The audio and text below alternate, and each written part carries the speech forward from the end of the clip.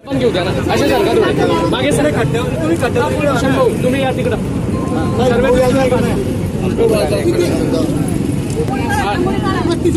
या सरकारचं करायचं काय या विद्या सरकारचं करायचं काय जय भवानी जय भवानी देवेंद्र फडणवीस राजीनामा द्या या झोपलेल्या सरकारचं करायचं काय खाली लोकं वरती पाय. या झोपलेल्या सरकारचं करायचं काय. बांधकाम मंत्री राजीनामा द्या. पालकमंत्री मुर्दाबाद.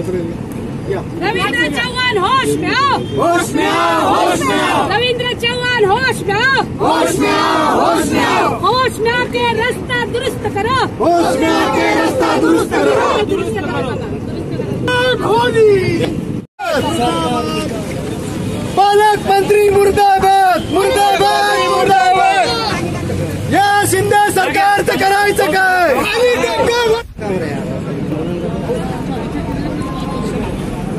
दादा काय सांगणार? जळगावमध्ये दोन दिवसापूर्वी या ठिकाणी अपघात झाला होता. यामध्ये दोन महिलांना प्राण गमावा लागला होता. आज शिवसेना ठाकरे सेनेतर्फे आंदोलन करण्यात येते महाविकास आघाडीतर्फे आंदोलन करण्यात येते काय आज जर आपण पाहिलं असेल तर या ठिकाणी सर्वच पक्षाचे या ठिकाणी कार्यकर्ते असतील पदाधिकारी असतील सामान्य नागरिक असतील यांचा या ठिकाणी आज जनप्रक्षोभ होऊन या ठिकाणी आज जनआक्रोश मोर्चा रस्त्यांवरती पडलेल्या खंडांच्या संदर्भात निघालेला आहे. आपण जर बघत असाल तर गेल्या चार महिन्यापासनं या ठिकाणी निष्पाप सहा जणांनी या खड्ड्यांमुळे त्यांचा जीव इथे गमावलेला आहे. आत्ताचीच ताजी घटना जर आपण बघितली दोन दिवसापूर्वीच्या तरी एक तरुणी व एक महिला या ठिकाणी गाडीने जात असताना या ठिकाणच्या रस्त्यावरती खड्डा चुकविताना त्यांना या ठिकाणी त्यांचा प्राणाचा या ठिकाणी बळी द्यावा लागलेला आहे बळी गेलेला आहे. खरं तर या ठिकाणी जे झोपलेलं सरकार आहे या ठिकाणचे आमदार असतील मंत्री असतील खरं तर यांनी याबाबतीत लक्ष देण्याची गरज आहे. हा रस्ता होऊन अजून एक वर्षही पूर्ण झालेलं नसताना देखील या ठिकाणी याचा डिफेक्टिव्ह लायबिलिटी पिरियड संपलेला नसताना देखील या ठिकाणी रस्त्यावरती खूप खड्डे पडलेले व या ठिकाणी लोकांना आपला जीव या ठिकाणी गमवावा लागत आहे. खरं बघितलं तर त्या दोषींवरती या ठिकाणी जे कालच्या दिवशी मृत पावले व या अगोदर मृत पावलेले यांच्या सो यांच्या दोषी दोषी संदर्भात यांच्या दोषा संदर्भामध्ये या ठिकाणचे कॉन्ट्रॅक्टर असतील या ठिकाणचे अधिकारी असतील यांच्यावर सदोष मनुष्यवधाचा खरं तर गुन्हा दाखल केला गेला पाहिजे. आणि जे मृत कुटुंबीय असतील त्यांच्या वारसांना या ठिकाणी मदत मिळाली पाहिजे. आम्ही या ठिकाणी सर्व लोक सर्व जनता या ठिकाणी जमलेली आहे. आम्ही आपल्या माध्यमातून या ठिकाणचे कॉन्ट्रॅक्टर असतील या ठिकाणचे अधिकारी असतील मंत्री असतील आमदार असतील आपल्या माध्यमातून आम्ही यांना विनंती वजा आव्हान करतो की येणाऱ्या दोन दिवसात हा रस्ता जर पूर्वीप्रमाणे या ठिकाणी चालण्यास योग्य वाहतुकीस योग्य केला नाही तर आम्ही हा रस्ता जे सी बीच्या साह्याने उघडून टाकू व या ठिकाणी जर जी रहदारी आहे ती बंद करू.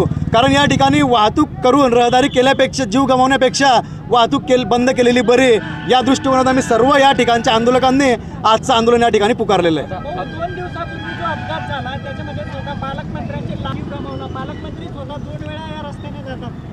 रोज पालकमंत्री या रस्त्याने ये जा करतात. पण आमचं सर्वांचं मुळातच म्हणणं आहे की इथले पालकमंत्री असतील मंत्री असतील आमदार असतील यांना दररोज ये जा करताना एक खड्डे दिसत नाही का? ते अजून या ठिकाणी लोकांचा बळी घेणार आहेत का? ते अजून कोणाचा जीव जाण्याची या ठिकाणी वाट पाहत आहे का?